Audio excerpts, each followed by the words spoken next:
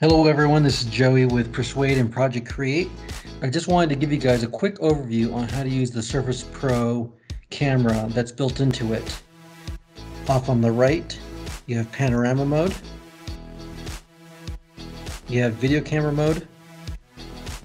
And then you have that camera, uh, typical still camera mode.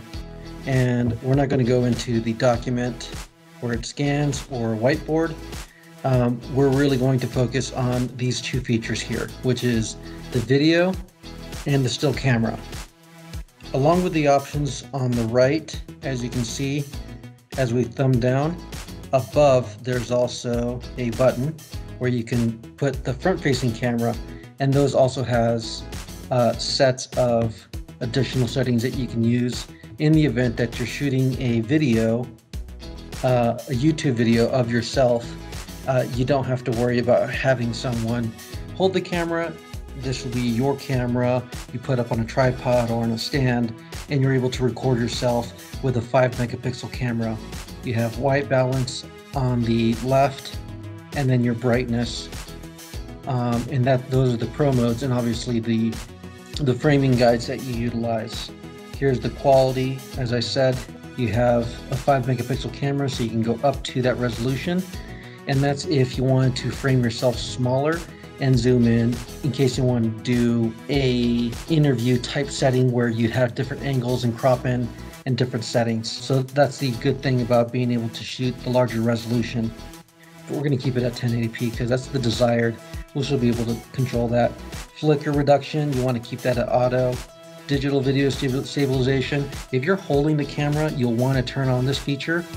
But if it's on a tripod or you're uh, on the mount placed on your desk, you could turn that off. There's no need. It really just overscans the image in order to reduce the shake. And these are the uh, camera settings for the selfie camera. If you're on basic mode, you basically have your zoom. And you could zoom in and out. You can also pinch and pull uh, without using the feature on the side. But for the sake of this lesson, we're going to go pro mode.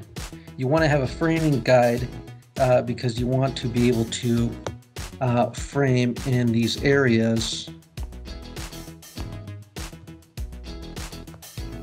As you can see, those corners. And then photo quality, we're going to keep it at uh, 6 megapixels because it's 16.9 format and we could re reuse those uh, photos for videos. And then uh, again, you have the time lapse option, which is unnecessary. The video quality we're going to keep there. And then the flicker reduction, again, not needed. State video stabilization, we're not going to need because we're uh, stable on the uh, on the surface. So first icon on the left, we want to go through and show you the zoom. As I said earlier, you could zoom in in this manner here or you could zoom in by pinching and pulling the actual image on the screen. So that's a two finger touch, pinch and pull. The next is white balance. That's what WB stands for. Where as you can see, based on your different types of light, fluorescent, daylight, cloudy, and automatic, the camera will change its balance based on that setting. So if you are outside, depending on it being cloudy or daylight, you can have that correction. Or you could just keep it on auto and let the camera do its correction. But if you find that it starts uh, color correcting while you're shooting, then you'll definitely want to set it to a daylight setting and this way you can do your color corrections in post. By setting it to any one of these uh, settings, you have full control of it not shifting without your your control auto, it's at the computer's liberty to determine. So let that be a lesson because many times when you are shooting, you want to be in full control of your camera if you're in a controlled environment.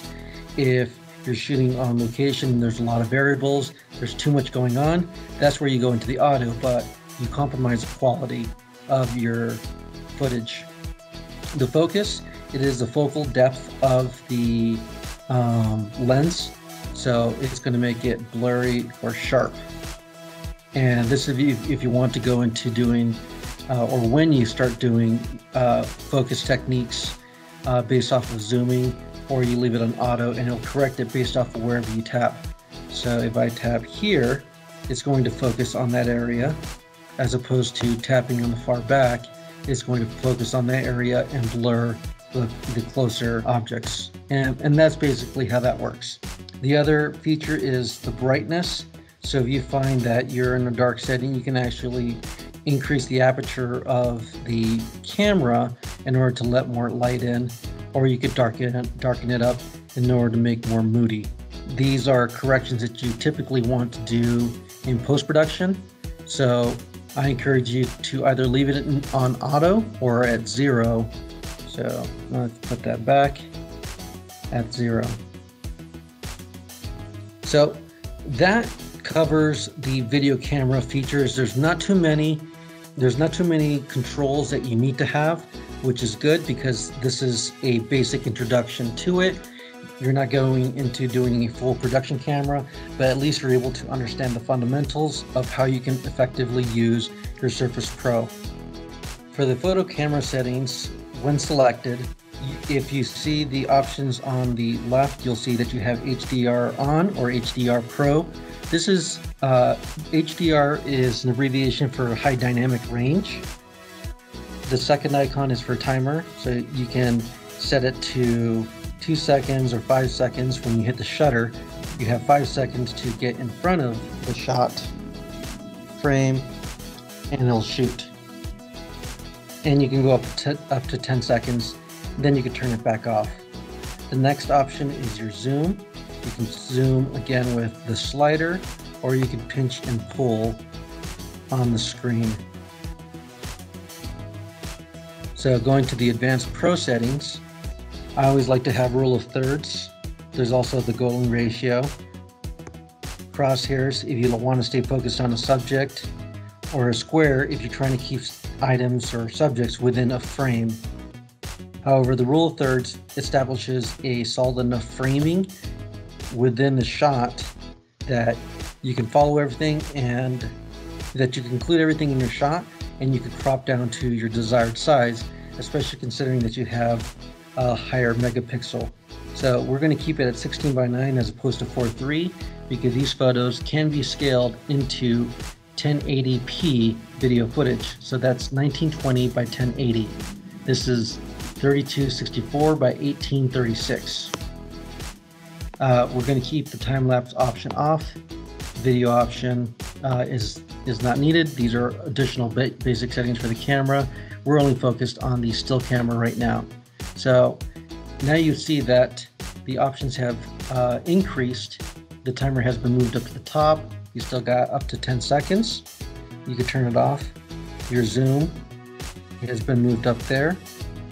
You have your white balance, so you can control what kind of lighting you're in.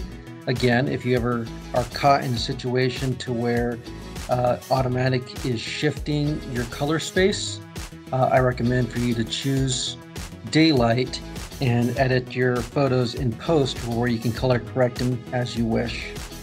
The next is your focus. So you can select your object and you can blur out and create a cinematic effect for your photos uh, once you're controlling the focus manually. So I've selected the front part of the chest set and now I've selected the back part of the chest set. Um, and I'm allowing for the autofocus to move the move the um, the focal point towards the back, and you can see a little blurring happening happening on the front.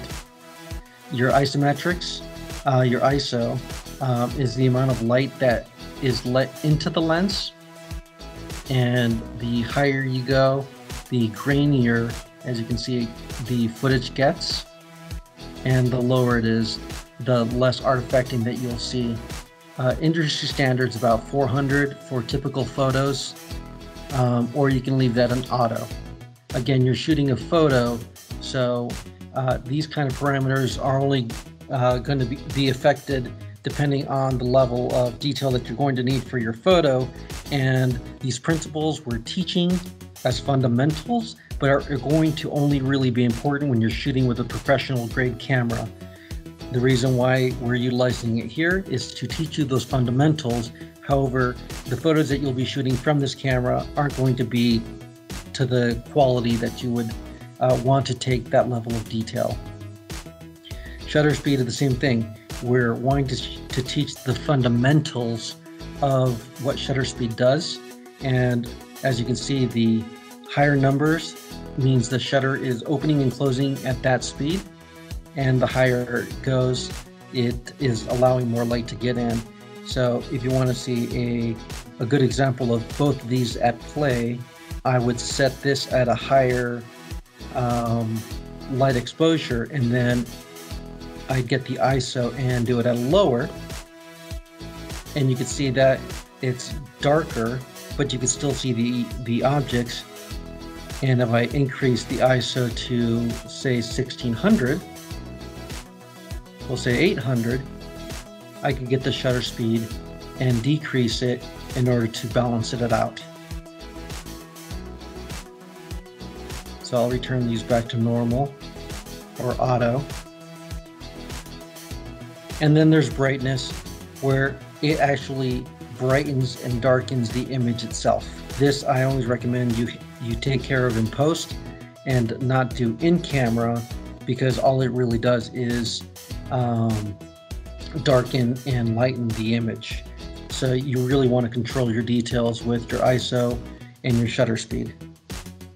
And that's basically the uh, photo and video camera within the Surface Pro. I hope that you enjoyed this tutorial and a quick overview on how to use the photo and video camera within the Surface Pro. And we look forward to hosting you guys soon. Cheers.